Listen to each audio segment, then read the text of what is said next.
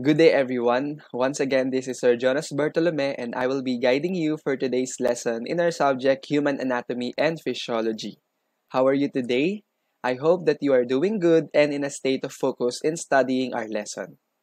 So, we will be talking about the basic chemistry of life. So, question, tanong sir, bakit po namin kailangan pang pag-aralan ng chemistry in understanding um, human anatomy and physiology? So, madali lamang ang sagot dyan. It is because our entire body is made up of chemicals. Thousands of them which are continuously interacting with one another in an incredible phase. Okay? And then, those um, chemical reactions underlie all the basic body processes such as movement, digestion, pumping of the heart, as well as um, having your thoughts. Okay? So, let us proceed to the next slide. Okay? So, slide, um, we present to you the topics that will cover, that will be covered in this lesson. Okay? So, number one is the concept of matter and energy. Next is molecules and compounds. And last is biochemistry. So these are the objectives that you need to achieve after finishing this lesson. Number one is to differentiate matter and energy. Next one is to define molecule and explain how molecules are related to compounds. And last is to distinguish organic and inorganic compounds. Okay? So if you're now ready, class, um, please take down notes and make sure that you are focused for today. So let's start. Next slide. So in this chapter class, we present the basics of chemistry and biochemistry, which provides us background that we will need to know um, or we need to understand body functions. Next slide. Let's proceed right away to basic chemistry concepts. This portion of our lesson will be a bit of a review since napag-aralan nyo na rin naman ito sa inyong general biology course. Next slide. Okay, so let's um, start with um, discussing what is matter. So matter class is a stuff or is the stuff of the universe. Okay? With some exceptions, it can be seen, smelled, and felt. More precisely, matter is anything that occupies space and has mass. Meron tayong tinatawag na weight class kung saan yung weight, it is a measure of gravity pulling on a mass. So magkaiba yung mass at weight. And in this subject class, chemistry subject uh, studies the nature of matter, how its building blocks are put together, and how they interact. Matter exists in solid, liquid, and gaseous states, all of which are found in the human body. So first up, solids, such as bones and teeth, have a definite shape and volume. Liquids have a definite volume but they conform to the shape of the container. Okay? Examples of body liquids are blood plasma and the interstitial fluid that bathes all body cells. Gases, on the other hand, have neither a definite shape nor a definite volume. The air we breathe is an example of gases. Additional information lang class that matter can change either physically or chemically. Kapag ang change of matter ay physical change, nagkaroon lamang ng modification sa kanyang shape and size at hindi na-alter ang basic nature or substance. For example, the melting of ice or cutting food. Since yung ice is, is a form of um, water pa din naman siya, walang nabago doon. Okay? Or cutting food. Chemical changes, on the other hand, do alter the composition of the substance, often substantially. Example is the fermentation to make wine as well as digestion of food. Okay? So in contrast class to matter is what we call energy. Okay? Energy has no mass and does not take up space compared to matter. It can be measured only by its effects on matter. Okay? We commonly define energy as the ability to do work or to put matter into motion. So, kumbaga siya yung nagbibigay effect sa matter. Meron tayong dalawang uri or types ng energy. We have the kinetic energy, which is displayed in the constant movement of the tiniest particles of matter or atoms, as well as in larger objects such as bouncing ball. When energy naman or is inactive or stored, we call it potential energy. All forms of energy exhibits both kinetic and potential work capacities. For example, tayo, 'di ba? Um, we are on the state na natakbo tayo, um, naglalakad tayo, that is kinetic energy. And when we do our rest, that is what we call potential energy. Bukod sa potential at kinetic energy, meron din tayong iba't ibang forms of energy class like Number one, take note, chemical energy, mechanical energy, electrical energy, and radiant energy. So pag sa chemical energy, example nito are the um, energy which is harvested from the food we eat during um, yun, the food we eat. And then yung electrical energy naman, it's is in the form of the nerve impulses. Na kung saan yung nerve impulses transmit messages from one the body to another. Okay? Next is mechanical. So, pag sinabing mechanical, just like um, when we use our muscles in our legs to contract or and or they pull on our bones, causing our limbs to move. And yung radiant energy naman class, which stimulates the retinas of our eyes, and it is important in vision. So, kailangan natin ng light para makakita. And UV waves cause sunburn, but they also stimulate our bodies to make vitamin D. Kaya ang baby ay pinapaarawan sa umaga kasi um, it helps our uh, skin to um, create vitamin D using the light energy. Okay? So that's all about the concept of energy. Let us proceed to the next slide. All matter na pagsapan natin kanina is composed a limited number of substances called elements which are unique substances that cannot be broken into simpler substances by ordinary chemical methods. Examples of elements include many commonly known substances such as oxygen, silver, gold, copper, and iron. So far class, meron tayong 180 na elements na na-identify with certainty at ang bawat elements ay nakatabulate sa ating periodic table of elements. So as you can see in this picture. 92 of those elements are naturally occurring while others are artificially created. Also, class 4 of those elements are essential for life. So, ito yung CHON or CHON, or the vital elements that make up 96% of our body weight. These are the carbon, oxygen, hydrogen, and nitrogen. Besides these four elements, several others are present small or trace amount. Ibig sabihin, dapat minimal lang. Kasi kapag sumobra, maaari magkaroon ng um, um, defects or disease. For example, um, iodine must be on trace amounts or small amounts. If it uh, exceed, nag-exceed siya or parang mas kulang pa, pwede tayong magkaroon ng hyperthyroidism or hypothyroidism. So, di ba, pag hyperthyroidism, pwede kang magkaroon ng goiter. Okay, let's proceed to the next slide. So each element is composed of very similar particles or building blocks, which is what we call atoms. Because all elements are unique, the atoms of each element differ from those of all elements. So pag may isang element, it is constituted to a unique atom. Oxygen atom or oxygen element, oxygen atom. Hydrogen element, hydrogen atom. Okay? We designate also each element by a one or two-letter chemical shorthand, an atomic symbol. In most cases, the atomic symbol is simply the first or first two letters of the element's name. For example, yung sa carbon, C stands for carbon, O stands for oxygen. So in this case, sa PowerPoint, HE stands for helium. In few cases naman class, the atomic symbol is taken from the Latin name for the element. For instance, Na from the Latin word natrium indicates sodium. Nk, which comes from the Latin word kalium, indicates potassium.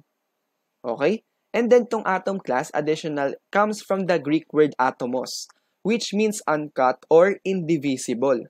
Hindi yung invisible, ah, indivisible. Meaning hindi kayang madivide pa into smaller units. We now know that atoms, although incredibly small, are clusters of even smaller components called subatomic particles. So, tawag sa kanila ay subatomic particles. Okay? Which includes protons, neutrons, and electrons. So protons class have a positive charge, whereas neutrons are uncharged or neutral. Protons and neutrons are heavy particles and have approximately the same mass. Okay? The tiny electrons naman bear a negative charge, equal in strength to the positive charge of the protons, but their mass is so small that it usually designated as 0 AMU. Okay? So, kung makita nyo dito sa structure ng atom, so itong um, red, the protons, and the yellow is the neutrons, forms the nucleus of the atom. So, once again, protons and neutrons forms the nucleus. And then, itong electron, nagkikreate siya ng tinatawag na orbit or electron cloud. Okay, na ginagamit para makipag-interact with other atoms during sharing or, um, yun, pag nag-share or nakipag isa. Okay? Next slide. When two or more atoms naman combine chemically, molecules are formed. If two or more atoms of the same element bond or become chemically linked together, molecule of that element is produced. For example, class here, when two hydrogen atoms bond, a molecule of hydrogen gas is formed. Hydrogen atom, H atom plus H atom, will, will give us H2 molecule or hydrogen molecule. Okay? So always remember that molecules with one type of atom are just called molecules. So kapag halimbawa, O2, oxygen molecule. N2, hydrogen molecule. Okay? So, meron naman tayong compounds. So, when two or more different atoms bind together to form a molecule, the molecule is more specifically referred to as a molecule of a compound. Example na nga ay yung C6H12O6 or what we call glucose. It is considered a compound class because it is a combination of 6 carbon atoms, 12 hydrogen atoms, and 6 oxygen atoms, which is a result of a chemical reaction from photosynthesis in plants. Okay? So, yun. Example, another one is H2O. So, H2O is a compound which is water, na kung it is a combination of um, two hydrogen atoms and one oxygen atoms. Okay, so all compounds found in the body fall into one of two major classes of molecules. It's either inorganic or organic compounds. The class of the compound is determined solely by the presence or absence of carbon. So inorganic or organic siya kapag present or absent carbon. And with this, we'll proceed to the biochemistry part of our module. Next slide. Yan. Ano kaya ang pinagkaiba class ng basic chemistry sa biochemistry? Siyempre, class sa spelling, di ba? Dahil pag nakita na natin na may specific na bio sa root word, it, it already pertains to life. Therefore, class, biochemistry is the study of chemical composition and reactions of living matter. As I have mentioned before, compounds of two basic types, which are essential in studying biochemistry, the inorganic and organic compound. Punta muna tayo class sa inorganic. Inorganic compounds lack carbon and tend to be small, simple molecules. Examples of inorganic compounds found in the body are water, salts, and many acids and bases. Okay? So it doesn't contain carbon. For example, water, walang C yun. Salt, for example, NaCl. Hindi yung C, C doon sa Cl, Cl kasi yun. So it pertains to chlorine. So, wala siyang carbon. And then, as well as some acids and bases. Okay? On the other hand, organic compounds contain carbon. But except for a few uh, exceptions, such as carbon dioxide. Yung carbon dioxide, meron siyang carbon and carbon monoxide. These two are inorganic. Pero meron silang carbon, exception lamang sila. Okay? The important organic compounds in the body are what we call carbohydrates, fats or lipids, proteins, and nucleic acid.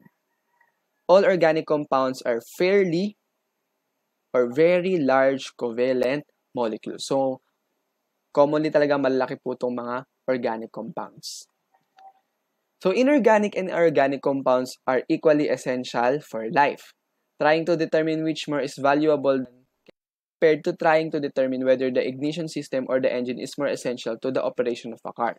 So kumbaga, pares yang ano, mahirap mo i-compare kung sino yung mas kailangan dyan kasi parehas po silang kailangan na kailangan. So let us deeply understand the function of several inorganic compounds first. Next slide. So una muna tayo sa water. Water is the most abundant inorganic compound in the body. It accounts for two for about two-thirds of the body weight. Okay? Among the properties that make water so vital are the following. So we have high heat capacity, high heat of vaporization, polar solvent properties, reactivity, and cushioning. So isa-isayin natin yan class. First property of water is having a high heat capacity, wherein it absorbs and releases large amounts of heat before its temperature changes. Thus, it prevents the sudden in body temperature that might otherwise result from intense sun exposure, chilling winter winds, or internal events such as vigorous muscle activity that liberate large amounts of heat. Okay? Next one, water has high heat of vaporization also. That is, vapor evaporation requires a large amount of heat, therefore becoming useful cooling mechanism. For example, perspiration resulted from intensive heat produced by vigorous activity or high temperature and then the evaporation of sweat allows our body to cool down, maintaining overall body temperature, thus having homeostasis. Okay, which is yung goal ng body, di ba? So, next slide, water is an excellent solvent because of its polarity. Indeed, ito nga yung tinatawag na universal solvent. Kapag sinabi nating solvent class, di ba, ito yung liquid na tumutunaw sa solute. And yung solute is the smaller part of the substance in the solution. So, mas onti dapat yung solute kesa sa solvent. Okay? Hindi po yung solvent na hinihit-hit. Okay? Small reactive chemicals such as salts, acids, and bases dissolves easily in water and become evenly distributed.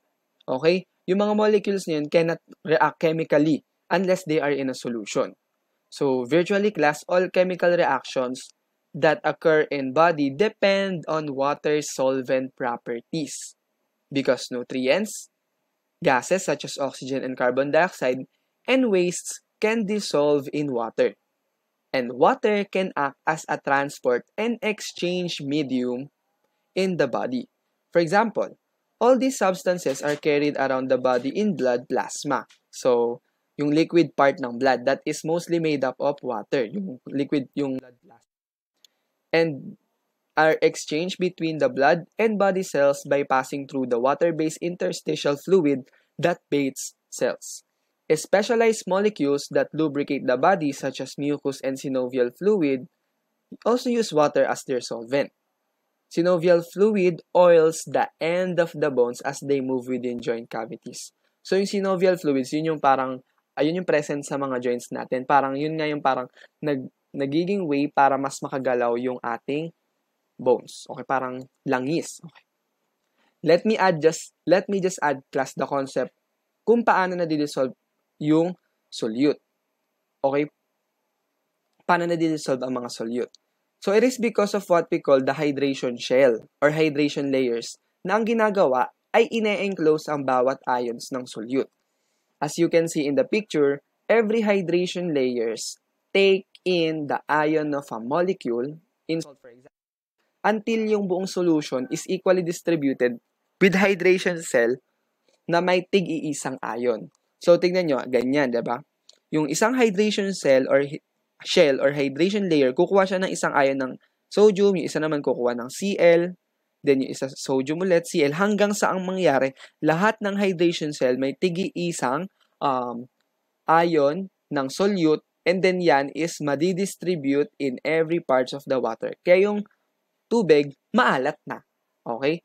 Kasi nag-dissolve na or na-distribute na yung iba't ibang uh, yung mga ions ng solute. Okay, let's proceed to the next slide. Water is an important reactant then. for some types of chemical reaction. To digest food or break down biological molecules, water molecules are added to the bonds of the larger molecules in order to break them. Such reactions are, are called hydrolysis reaction, a term that specifically recognizes this role of water. From the word hydro means water and lys or lysis means breaking down or splitting. Okay? So, ang major goal niya, through the use of water, mabe-break down yung mga molecules. On the other hand, yun namang dehydration synthesis ay kabaligtaran po ng hydrolysis, kung saan nakakapag-create naman ng new molecules through a release of water. Kaya dehydration. So, to summarize, hydrolysis, adding of water, broken, pro, uh, breaking down of molecules. Adding of water, breaking down of molecules. Dehydration synthesis, releasing of water, creating or synthesizing new molecules. Yun yung kanilang difference. Water also serves as a protective function. For example, uh, cerebrospinal fluid, which water forms a cushion, cushion around the brain that helps to protect it from physical trauma. Kapag naman sa mother na buntis or pregnant, yung amniotic fluid which surround the developing fetus plays a vital role pag sa pag-protect ng fetus. Kumbaga, okay lang din na maplakda sa swimming pool kaysa sa maplakda sa semento. Although may surface tension din ng water, but still it cushions our body. Okay? ba? Kung wala ding amniotic fluid or water doon sa fetus, siguro nanuyot na din yung anak mo as well as kumbaga kapag ikaw ay gumagalaw-galaw, 'di ba, na na-disturb na siya sa pagpapahinga o pagtulog ng baby.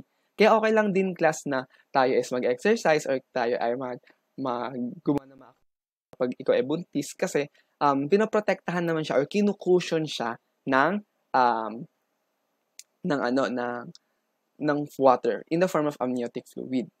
Okay? So that's it. Knowing these properties of water, we can conclude that water plays a major role in regulating the temperature of the body, protecting vital organs, and helping transfer essential nutrients in our body, and etc. Let's proceed to the next inorganic compound, which is salt. Okay? A salt naman is an ionic compound containing cations other than hydrogen ion and anions other than hydroxide ion. Kasi yung H na yan, tsaka yung OH, yan is um, related sa acid and bases. So, other than those, yun is a salt. Salts of many metal elements are commonly found in the body, but the most plentiful salts are those containing calcium and phosphorus, found chiefly in bones and teeth. Okay? So, yun. Yung mga salt na yun, basically found yan sa bones and teeth, tsaka din sa ngipin natin. Yun nga, kaya di ba parang merong toothpaste na active salt. okay? Salts, both in their ionic forms and in combination with other elements are vital to body functioning. For example, so sodium and potassium ions are essential for nerve impulses. Late sa nervous system, discuss pa natin yan. And ions form part of the hemoglobin molecule that transports oxygen within red blood cells. Because ions are charged particles, all salts are electrolytes, which are substance that conduct an electrical current in the solution. So mahalaga ang salts para din uh, mag-function yung mga nerve cells natin kasi it is an electrolyte. Okay? It uh, it distributed or distributes electricity or electrical current. Okay? Therefore, when electrolyte balance is severely disturbed or parang um, bumaba yung level ng salt ng katawan, virtually nothing in the body works. For example, if nagkaroon ng deficiency sa amount of calcium needed in the body, maaring magkaroon ka klas ng tinatawag na hypocalcemia or hypercalcemia if sobra ka naman sa calcium. And these diseases can affect body functions. Okay? For example din, nagkaroon ka ng, um, yun nga, nagkaroon ka ng defect sa amount of sodium and um, potassium. So, ang mangyayari dyan, class, magkakaroon ka din ng tinatawag na disease na kung saan maapekto sa nervous system since yun nga is electrolytes. Okay? So hyperchloremia naman or Hypochloremia naman once na nagkaroon ng excess or deficiency of chlorine ions respectively. Okay? Yung kidney po yung um, gumagawa po ng in maintaining the proper balance of electrolytes. Once na kulang, once na sobra, may mangyayaring something sa ating body. May, therefore, creating an imbalance in our homeostasis. Okay, so like salts, acid and bases are electrolytes. Okay? That is, they ionize, dissociate in water, and then can conduct, conduct an electrical current as well. Parang katulad din ng salt. Pero may pinagkaiba siya class. Acids, ito, acids, ano yung sa tingin yung commonly um, lasa ng acid? Siyempre, acid have a sour taste and can dissolve many metals or burn a hole in your rag. Okay? Acids can have a devastating effect. For example, consider the damage to sea life, trees, and famous historical monuments caused by the vinegar-like acid rain. But the most useful definition of an acid is that it is a substance that can release hydrogen ions. Okay? In detectable amounts.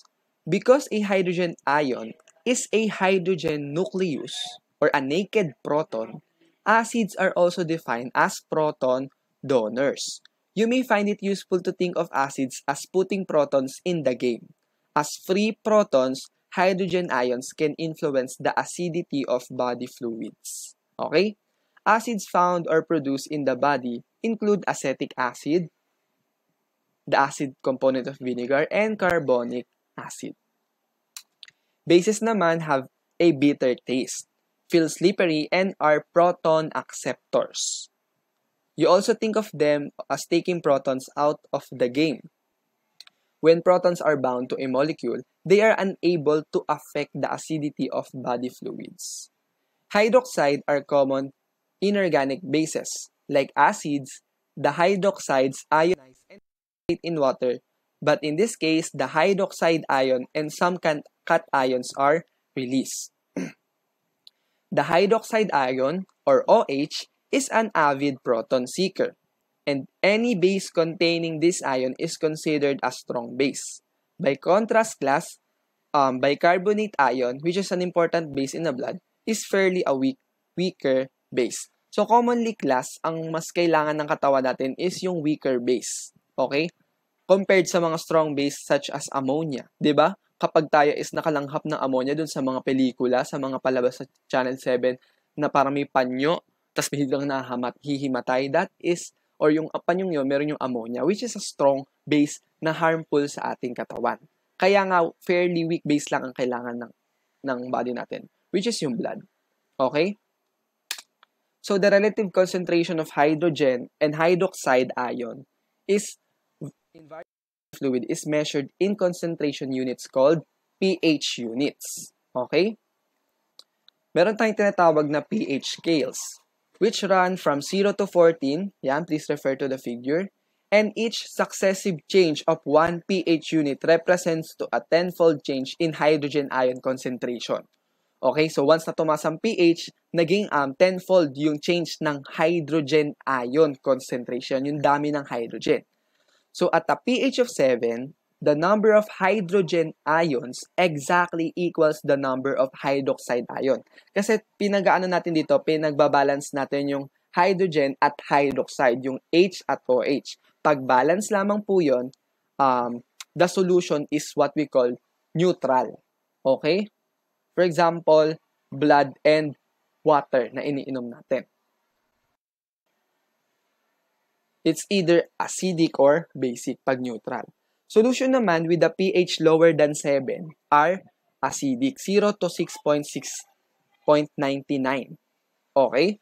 So, kumbaga, yan po ay merong mataas na concentration ng hydrogen over OH or hydroxide. Okay? Solutions with the pH number higher than 7 are basic or alkaline. 7.01 to 14. Which is, uh, mas madami po yung hydroxide ion compared to hydrogen. Okay? So, ito po yung mga examples class ng mga solutions or ng mga um, pagkain na merong or na, na acidic basic, or neutral. Let's proceed to the organic compounds na. So once again, uh, uh, the following inorganic molecules are water, salts, and acids. So dito na tayo sa organic compounds. Most organic compounds are very large molecules. So nasabi ko nga ulit. And contains carbon. Except for some examples like CO2, carbon dioxide, and carbon oxide or monoxide which are inorganic. There are four major organic molecules, namely carbohydrates, lipids, proteins, and nucleic acid. Next slide. So, yung mga organic compounds class, such as carbohydrates and proteins, for example, are what we call polymers.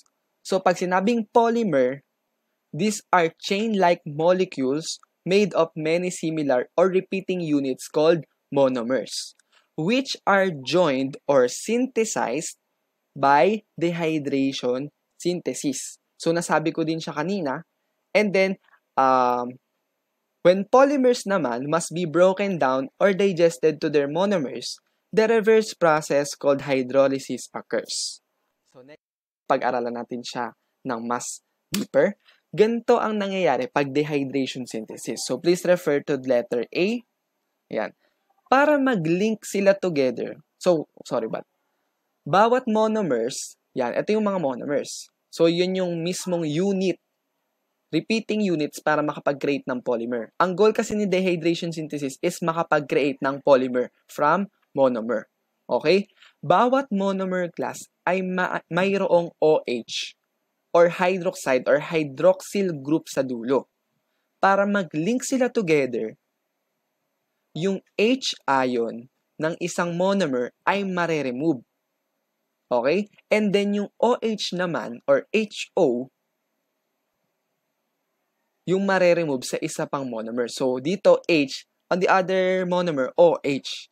And then, magli-link na ang dalawang monomer through covalent bonds. So, ang matitira na lamang po diyang bond, O. Okay? And then, yun na po yung magiging dahilan para mag-bond sila. Tapos, yung H and OH na nirelease ay magbaband din to produce water. Kaya tinawag class na dehydration synthesis. Kumbaga, to create larger polymers from monomers, water must be released or created. Okay? So, para lamang yang para ikaw is mas mabuo bilang tao, kailangan may matanggal din sa'yo. Okay? In contrast naman, hydrolysis, yung water mol yung water molecule yung ia-add sa polymer para siya ay mag-breakdown. Okay? So, kaya tinawag siyang hydrolysis from the word hydro means water and lysis or lysis means breakdown. Kasi monomers will be released with the addition of water. Kabaligtaran lang siya ng dehydration synthesis. Okay? Parang ito naman yung magkasama na talagang masaya na kayo sa isa't isa, pero may isang umentra at napaghiwalay kayo. Oo. Di ba masakit yun? Okay? So, to make it um, easier, the hydration synthesis from monomer to polymer through release of water.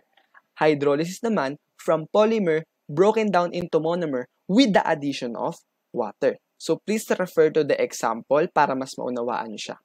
So sabi ko nga magkabaligtad lamang silang process. And all organic molecules which are covered in this chapter are formed by dehydration synthesis and broken down by hydrolysis. Okay, so nagigets na ba? Let's proceed to the in the let's proceed to the organic compounds.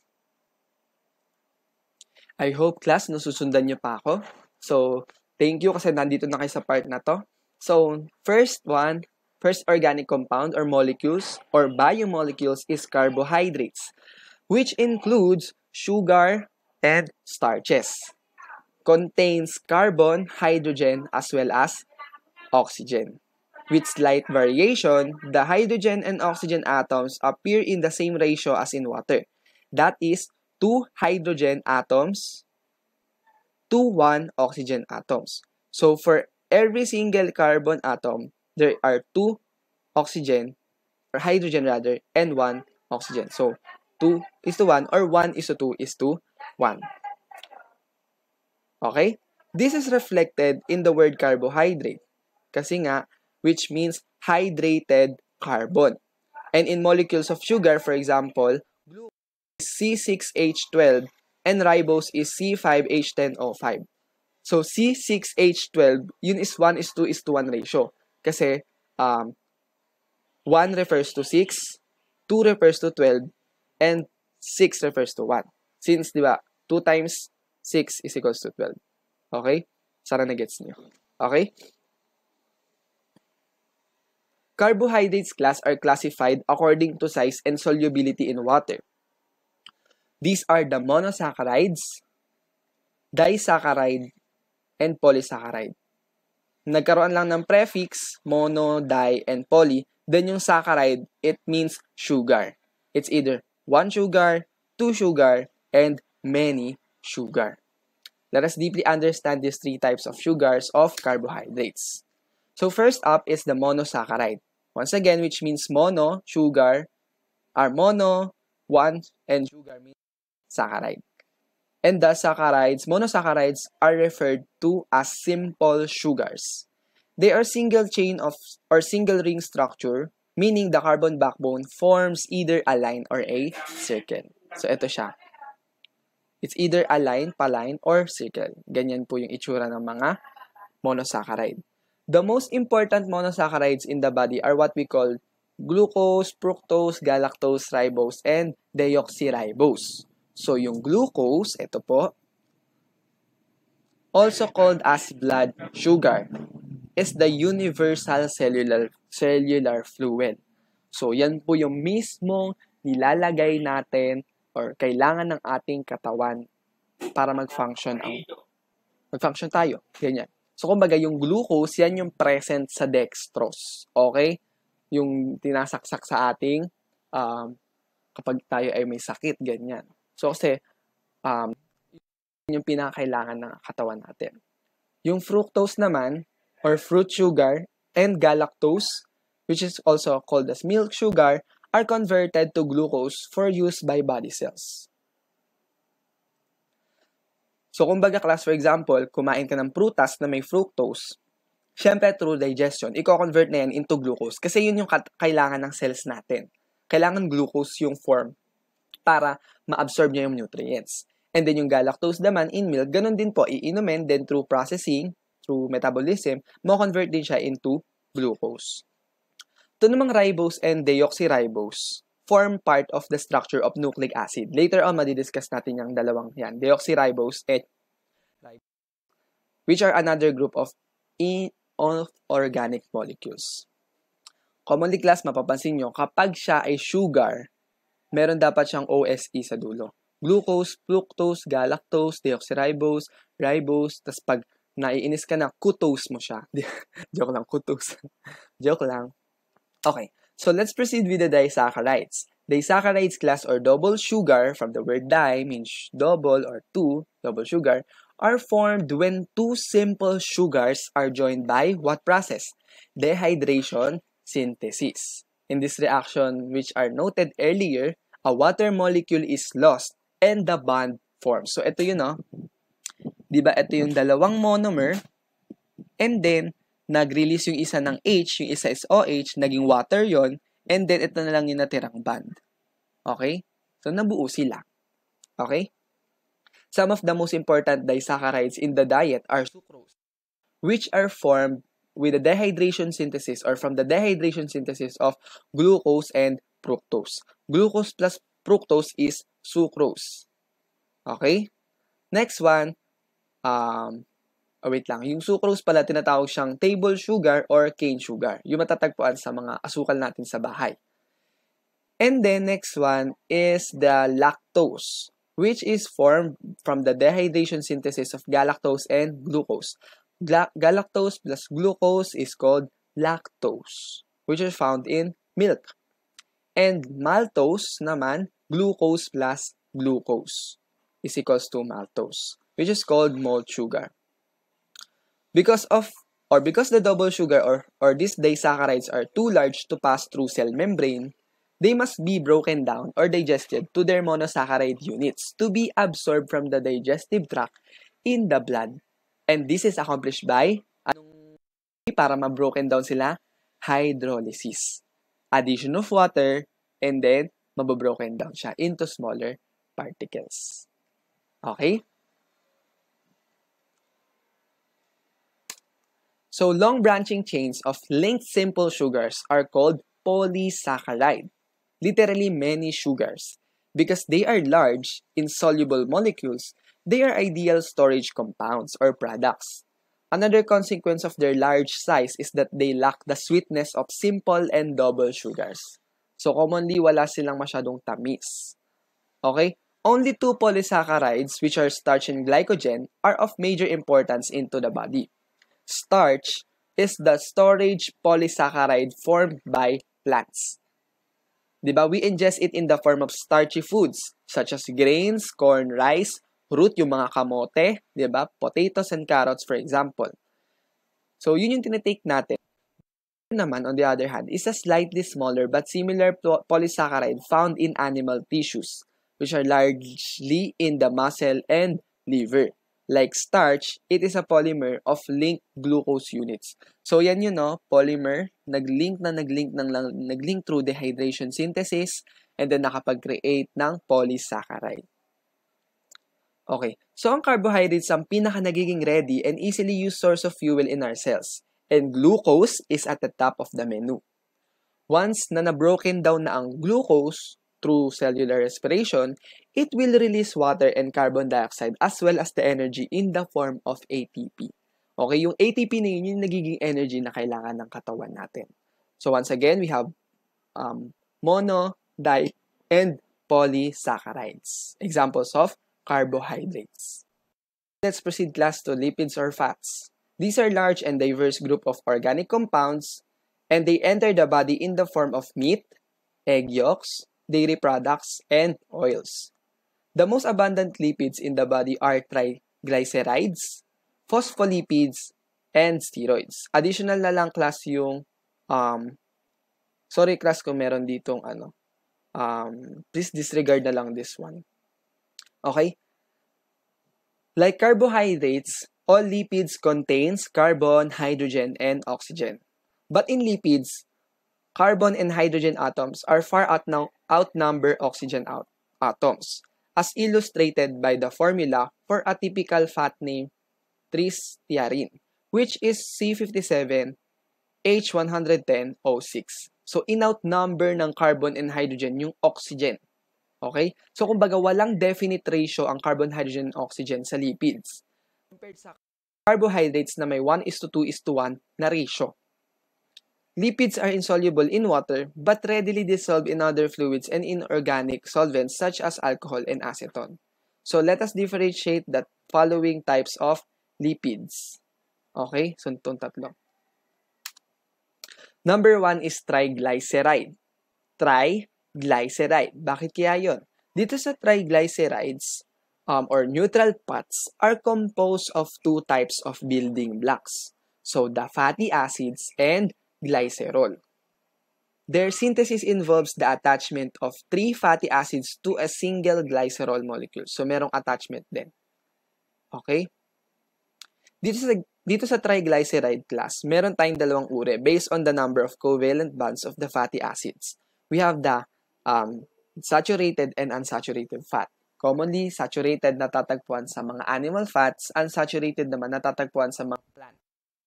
Saturated fats has fatty acids contains or does has fatty acid chains that are straight and kapag room temperature, the molecules of a saturated fat pack closely together, forming a solid. Butter, for example. Mayroon lamang isang single covalent bonds between carbon atoms. Yun namang unsaturated fats, on the other hand, is may either isa or dalawa na double covalent bonds. Pag isa, monosaturated. Pag dalawa or more, polyunsaturated. So these double and triple bonds called, cause the fatty, fatty acid chains to kink so they cannot pack closely enough to solidify. Hence, triglycerides with short fatty acid chains or unsaturated fatty acids are oils, which are liquid at room temperature. Yung mga plant lipids naman are typically oils din. Example include olive oil, rich in monosaturated fats, and soybean and safflower oils, which contain a high percentage of polyunsaturated fatty acid. Longer fatty acid chains and more saturated fatty acids are common in animal fats. Okay? Such as butter fat and fats of meat, which are solid at room temperature. Of the two types of fatty acids, the unsaturated variety, especially the olive oil, is more heart healthy. So, mas healthy po ang unsaturated compared to saturated fats. Okay? Next one is phospholipid. The phospholipids are similar to triglyceride. The major difference lang is that a phosphorus-containing group is always part of the molecule and takes the place of one of the fatty acid chains. Thus, phospholipids have two instead of three attached fatty acid. So, dalawa lamang po yung fatty acid ni phospholipid compared dun kay triglyceride na may tri, tatlong fatty acids. Okay? Because the phosphorus containing portion a negative charge, phospholipid has special chemical properties and polarity. For example, the charged region or yung phosphorus, yung head, yung ulo, ito, is a hydrophilic or water-loving. It means attack, it attracts and interacts with waters and ion. The fatty acid tails naman are hydrophobic and do not interact with polar or charged molecules. So the cell presence of phospholipids in cell membrane allows cells to be selective about what they enter or what may enter or leave. So for example, ito, tung phospholipid molecule na yan class, um, ano, yung nandun sa pinakagilid ha, madami yan sa cell membrane, parang isa siyang layer. And then, ang ginagawa niyan class, nag-a-attract yan ng water para makapasok sa um, cell And then, syempre, since yung hydro, nilalabas din niya. Parang nagkakaroon ng um, equal flow ng, ng elements dun sa cells. Next one is steroids are basically flat molecules formed of four interlocking carbon rings, as you can see. Thus, their structure differs quite a bit from that of other lipids. So, the, the single most important steroid molecule is cholesterol. We ingest cholesterol in animal products such as meat, eggs, and cheese, and some is made by the liver regardless of dietary intake. Cholesterol has earned bad press because of its role in arteriosclerosis. Naging pangit ang perspective ng mga tao dito because of its role nga sa arteriosclerosis. But it is essential for human life. Cholesterol is um, found in cell membranes and is raw material used to make vitamin D. Yung namang steroid hormones and bile salts, kasama din yun doon. Although steroid hormones are present in the body in only small amounts, they are vital in homeostasis. For example, yung sex hormones na may um, steroids, reproduction would be impossible. And without the corticosteroids produced by the ad adrenal glands, the body would not survive. So those are the following kinds of lipids. We have the triglyceride, phospholipids, and steroids. So to add, di ba yung minsan yung steroid, ina-add din siya or ini-inject ng mga athletes para mas maging uh, malakas sila pag nakipag-boxingan, ganyan. But basically, medyo harmful din siya sa katawan once na nasobrahan ang pag-intake. Okay, now let us proceed to the most functional organic compounds among the four, which is the proteins. Okay, proteins account for over 50% of the inorganic or organic matter in the body, and they have the most varied functions of all organic molecules. Some are construction material, some are construction material, and other play vital roles in function. Like carbohydrates and lipids, all proteins contain carbon, oxygen, and hydrogen. In addition, they contain nitrogen and sometimes sulfur and phosphorus atoms as well. The building blocks of proteins are small molecules called amino acids. Ito class ha, ang building block class ng carbohydrate is glucose. Ang building blocks ng lipids is fatty acids and glycerol. Okay? And then kay protein naman is amino acid. Okay? 20 varieties of amino acids are found in human proteins. Amino acids naman are joined together in chains to form polypeptides. Okay? Then proteins and large complex proteins. Because each type of amino acid has distinct properties, The sequence in which they are bound together produces proteins that vary widely both in structure and function. Proteins can be described in terms of four structures. Number one, the sequence of amino acid composing each amino acid chain is called the primary structure. This structure, which resembles a strand of amino acid beans, beads is the backbone of a protein molecule in which the chemical properties of each amino acid will affect how the protein folds. Most proteins do not function as simple, linear chains of amino acid. Next slide. Instead, they twist or bend upon themselves to form a more complex secondary structure. The most common secondary structure is the alpha helix, which resembles a metal spring. And then the other is the B helix. So many proteins have tertiary structure, which is next to higher level of complexity. Tertiary structures is achieved when, when alpha helical or beta pleated regions of the amino acid chain fold upon one another to produce a compact ball-like or globular protein. And finally, when two or more amino acid chains combine in a regular manner to form a complex protein, the protein has quaternary structure. So, primary, secondary, tertiary, and quaternary. Okay, next. Mas mag-focus tayo dito. Based on their overall shape and structure, proteins are classified as either fibrous or globular protein. So, fibrous, um, the structural uh, protein or strand-like fibrous protein are appear most often in body structures. Some exhibit only secondary structure, but most have tertiary or even quaternary structure. They are very important in binding structures together and providing strength for certain body tissues. For example, class collagen is found in bones. Cartilage and tendons is the most abundant protein in the body. Keratin is the structural protein for hair and nails and the material that makes skin tough. Kaya kung makita mo, di ba, class, yung tignan mo yung nails mo, parang ano siya, strand, or parang nakalinya, kasi fibrous siya, as well as the keratin.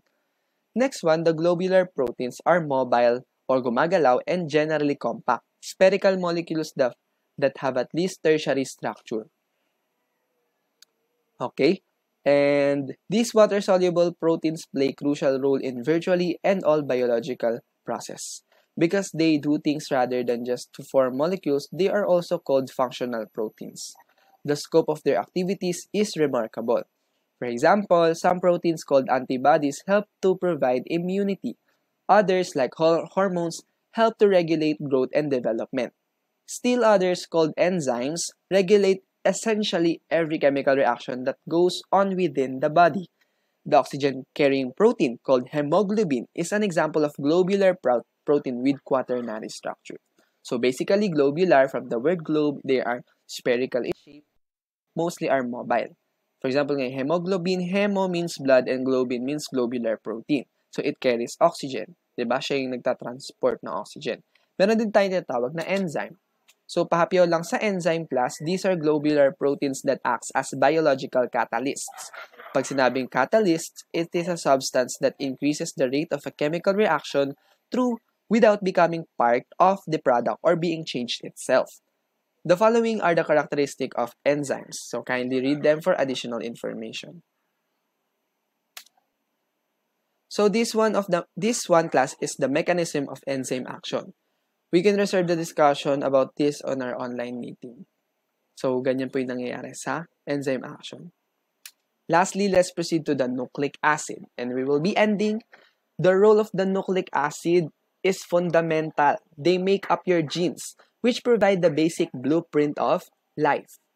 They do not only what type of organism you would be, but also directed your growth and development. And they did this largely by dictating protein structure. So, ito talaga yung parang nagko-control sa ating katawan as well as siya yung nagiging blueprint ng nagpapakita ng design natin. Kaya ka din um, mapango o kaya ka din matangkad, kaya ka maitim, kaya ka ganyan attitude because it is dictated in the nucleic acid, specifically sa DNA mo. Okay? So, nucleic acid, composed din siya ng carbon, oxygen, hydrogen, nitrogen, and phosphorus atoms, which are the largest biological molecules in the body. So, yun nga, nucleic acid is the largest among the four. Their building blocks, which are nucleotides, are quite complex as well. Each consists of three basic parts. Number one, a nitrogen-containing base or nitrogenous base, a pentose or 5 containing 5 carbon sugar, and a phosphate group. So, meron na siyang nitrogenous base, may sugar na siya, yung it's either deoxyribose or ribose, and a phosphate group. There are two major kinds of nucleic acid which are deoxyribonucleic acid, DNA, and ribonucleic acid which is RNA. DNA and RNA differs in many respects. Okay? So, sa word pa lang, mismong spelling pa lang, doon na natin malalaman kung anong klaseng sugar yung meron siya. Okay? So, let's proceed to the ano, next slide. This is a diagram showing the difference of DNA and RNA. So, let's proceed with the first. DNA. DNA is the genetic material found within the cell nucleus, which is the control center of the cell. It has two fundamental roles. It replicates itself exactly before a cell can divide, thus ensuring that everybody get, gets an intern identical copy of the genetic information. And number two, it provides the instructions for building every protein in the body. So once again, nagre-replicate pag nagdi-divide yung cell, and then nagda-direct, nagbibigay ng instruction for creating protein. So, DNA is a long double chain of nucleotides. So, basically, ang structure niya is helical or double helix. It, its bases are adenine, guanine, cytosine, and thymine. And its sugar is deoxyribose. Kaya nga deoxyribonucleic acid. Ano yung deoxyribose class? Anong klaseng um, biological or organic compound yan? It is a carbohydrate. And anong klaseng carbohydrate? Monosaccharide. Okay? Binding between bases is very specific. A always binds with T and G always binds to C. Thus, A and T are said to be complementary bases as are C and G. Okay? For the most part naman, RNA functions outside the nucleus and can be considered the molecular assistant of DNA. That is, RNA carries out the orders for protein synthesis issued by DNA. So kung si DNA nagsasabi ng instruction ko anong klaseng protein ang i-create, si RNA po ang tutulong doon. Kumbaga, kung ang DNA ay double-stranded, RNA molecules are single nucleotide strands. The RNA bases are adenine, guanine, cytosine, and uracil. Uracil replaces T found in DNA. And its sugar is ribose instead of deoxyribose. There are three major varieties class of uh, RNA. Okay? So we have the messenger, the transfer, and ribosomal RNA, and each has a specific role to play in carrying out DNA's instruction for building proteins. So messenger RNA or mRNA carries the information for building the protein from the DNA to the ribosomes, the protein synthesizing sites. So later on sa chapter 3, mapapag-aralan pa natin yan. Transfer RNA naman ferries amino acids to the ribosomes. And ribosomal RNA forms part of the ribosome where it oversees the translation of the message and the binding together of amino acids to form proteins. So basically, class yan, tatlong yan ang tumutulong para makapag-create ng protein. Okay? So we describe protein synthesis nga in chapter 3. So those are the major types of nucleic acid. So once again, DNA double strand, RNA single strand, DNA deoxyribose, RNA sugar ribose. DNA base pairing, uh, ATGC. RNA base pairing, may base pairing din siya pero AUGC. Okay? DNA genetic information, RNA protein synthesis. Okay? So to end class, chemistry is very essential in understanding the body functions. Okay? Though molecules and atoms are non-living matters, still we humans are dependent to it. because it sustains us and help us to achieve homeostasis, which is one of the major goals of the body. So once again, we discussed the concept of matter and energy, different types of molecules and compounds, specifically the inorganic and organic compounds. Thank you so much, class. I hope you learned a lot today. See you soon on the next video. So bye-bye, class. And please make sure to answer the feedback form after browsing this lesson. Bye, class.